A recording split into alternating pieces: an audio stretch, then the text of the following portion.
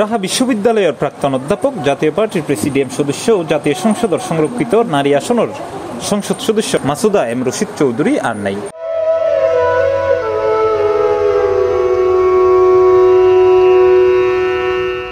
সোমবার সেপ্টেম্বর তেরো তারিখ ভোর সাড়ে তিন তারিখকে রাজধানীর মগবাজার নিজুর বাসাত মারা যায় তিনি।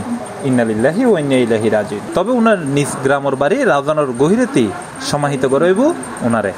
মঙ্গলবার চট্টগ্রাম লালদিঘি মাঠত বাদে জোহর তৃতীয় নামাজে জানাজা এবং বাদে আসর চট্টগ্রামের রাজানত গহিরা গ্রামত চতুর্থ জানাজা শেষে উনারে পারিবারিক কবরস্থানত সমাহিত করা হইব।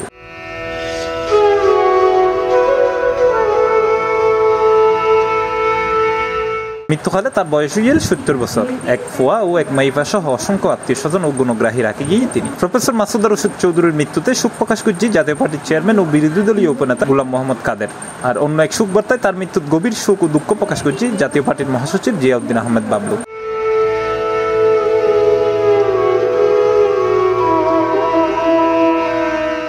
Ibedullah, C plus TV, Chattogram.